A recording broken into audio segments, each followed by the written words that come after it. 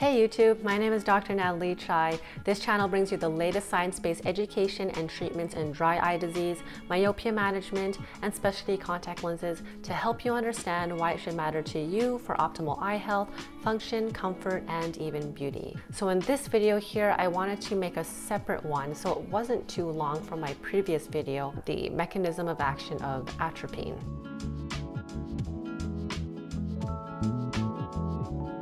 Let's review the general breakdown of the human body's nervous system. The nervous system, you can think of it as the body's electrical wiring system. Here's a great graphic and let's dissect it a little more. As you can see, the nervous system is broken into the central nervous system or CNS and the peripheral nervous system or PNS. The CNS comprises of the brain and the spinal cord, while the PNS includes all the nerves that branch out from the brain and spinal cord, extending to other parts of the body, including our muscles and organs. Let's just focus on the PNS. From there, it then branches into two types, the motor and sensory neurons. Now, the motor neurons carry messages from the brain and spinal cord out to the muscles and glands, while, as you probably guessed, sensory neurons bring information from the world and our body, from the organs back in to the brain and spinal cord. Let's again focus just on the motor neurons. It further splits into somatic versus autonomic nervous system. You can think of the somatic nervous system using conscious effort controlling muscles and movement, while the autonomic nervous system controls internal organs and glands, not requiring a person's conscious effort. So in other words, it happens automatically. As we zone in even further,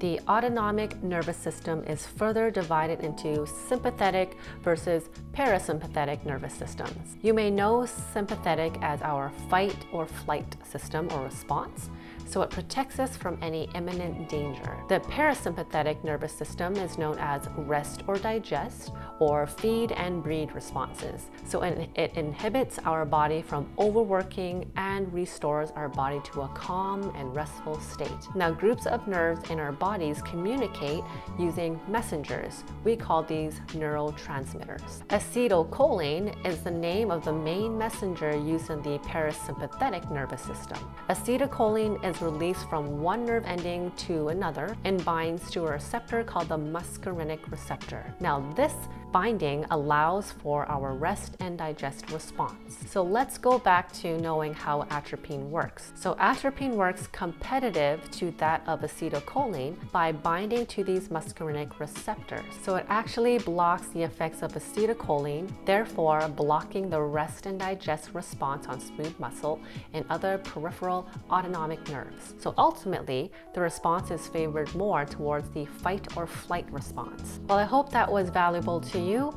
I know that especially when we're talking about the body and the nervous system, it can get very confusing with all the details around it, which is why I decided to have a separate video for those of you who are a little more interested in it, and also to respect the time of those of you who just want to get to the surface and get to the point. And that's it for me.